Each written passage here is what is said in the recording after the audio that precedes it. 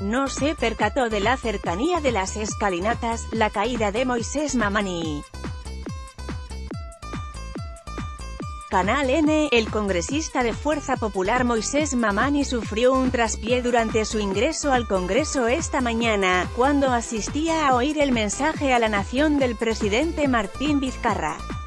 El congresista, que alcanzó fama por grabar los audios que provocaron la renuncia del expresidente Pedro Pablo Kuczynski, saludaba a la gradería mientras se acercaba a la puerta de ingreso.